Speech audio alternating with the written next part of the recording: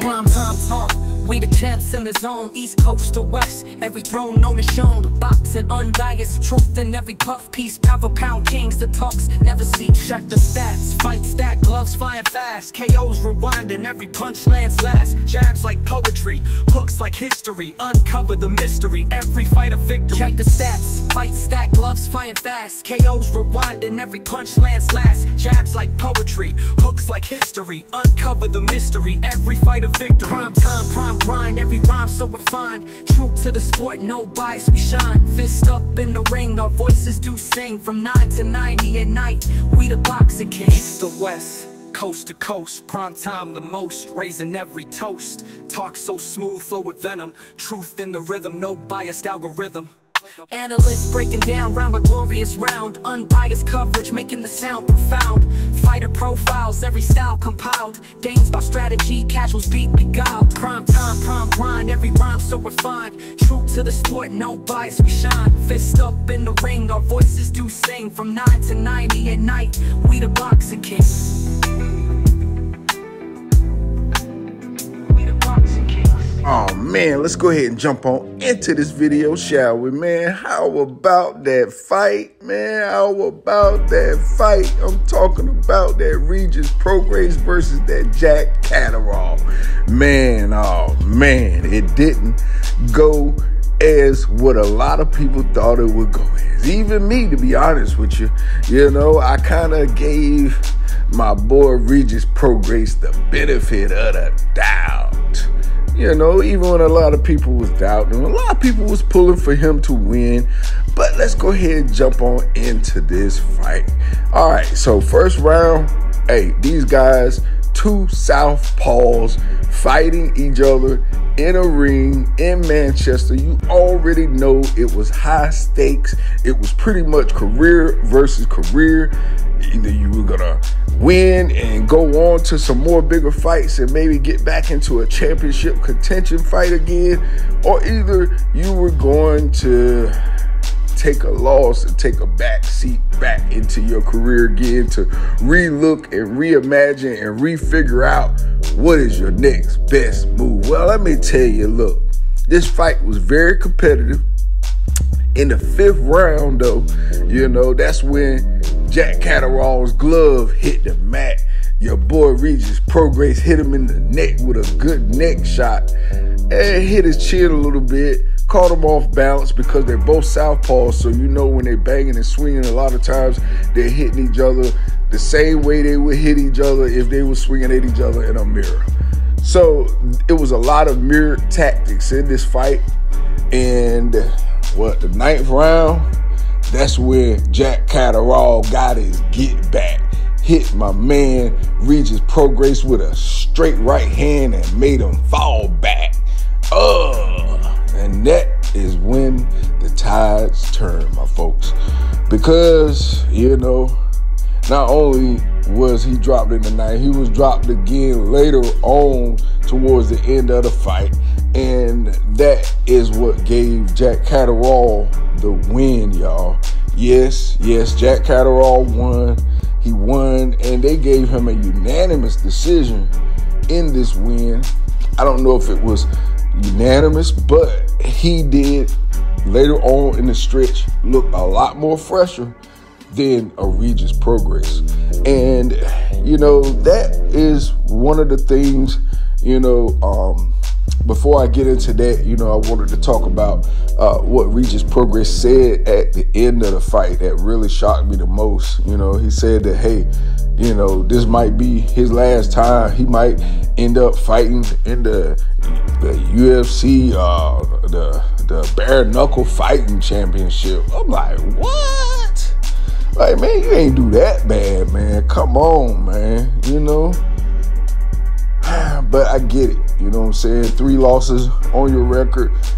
But I still feel as though in 140, Regis Prograis is a good fight for someone um, to test if they're ready to go to the next level, they're ready to fight for a championship.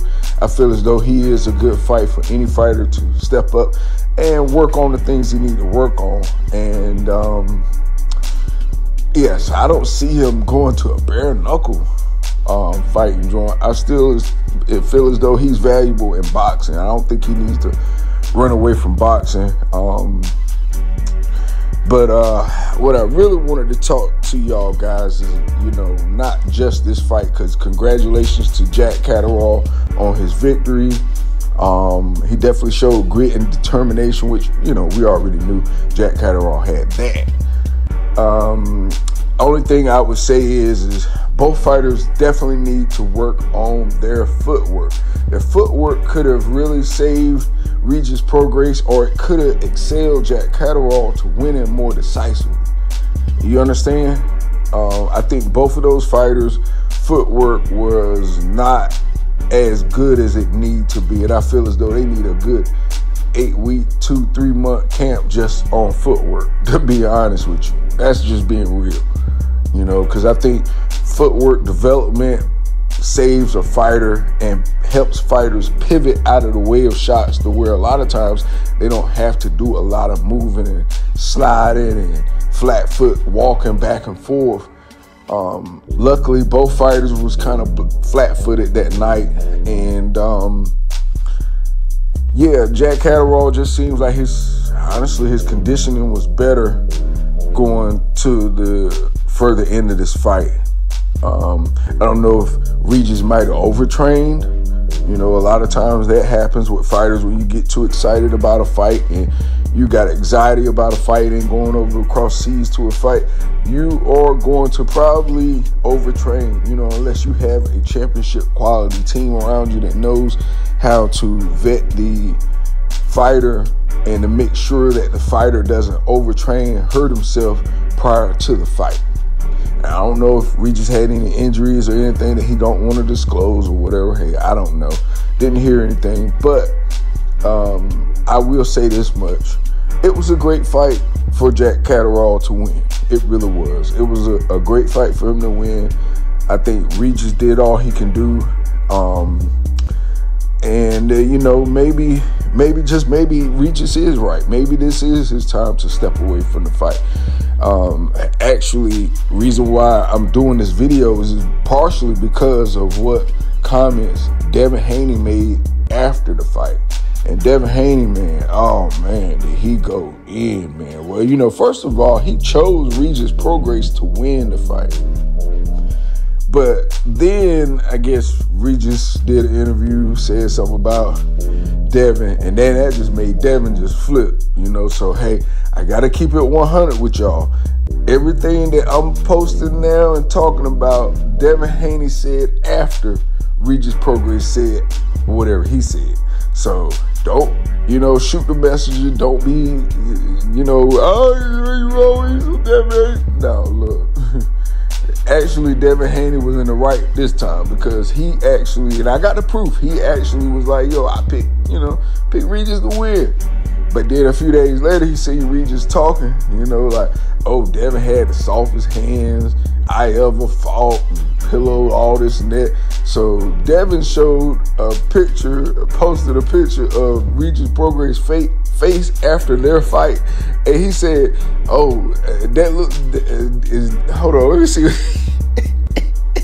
Yo, he is tripping, man. He basically was saying like, "Shoot, uh, pillows mark your face up like that." oh yeah, yeah, yeah. Um, yeah, this is what Chris Mannix said. You know, uh, Prograis, who would likely end his boxing career after a loss to Jack Catterall, took on all comers, won two titles, and was regularly in entertaining fights. Wouldn't mind seeing him in bare knuckle fight club.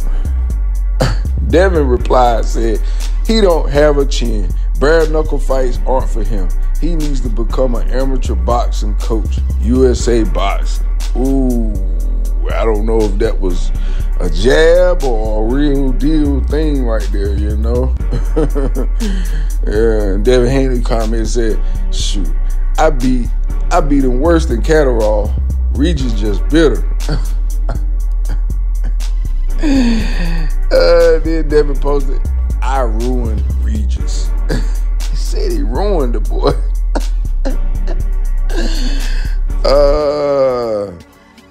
And then uh, he posted, sometimes you change your mind, it happens. you know, basically he must have been replying to somebody saying, You you chose him to win.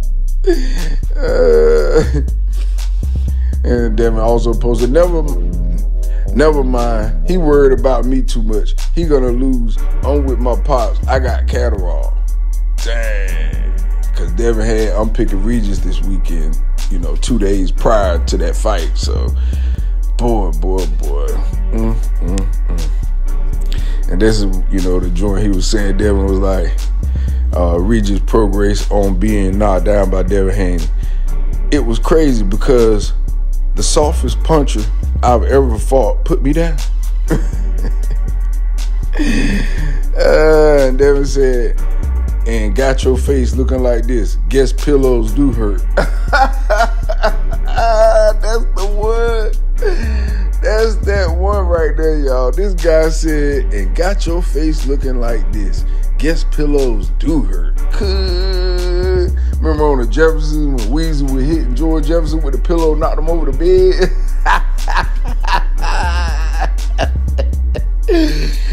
oh man, these guys is tripping. but you know, that's that's how it go, you know, in the sport of boxing.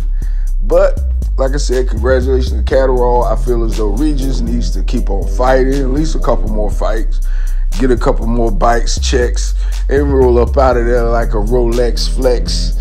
You know, that's all. Ain't nothing big about it, you know, ain't nothing bad about it. He's a good fighter, he's a good KG fighter. He's a good test for any fighter that feels as though they're ready for a championship contention. So, anyway, with that being said, that's all I got for this video. You already know the routine when you leave my house. Hit that like button, hit the subscribe button, smash the bell icon so you can be notified the next time I drop these next latest and greatest videos here on Primetime Talk TV. And I'm on social media everywhere. Definitely go to the website, primetimetalktv.com and copy some merch. All right, y'all. Peace, love, and until next time.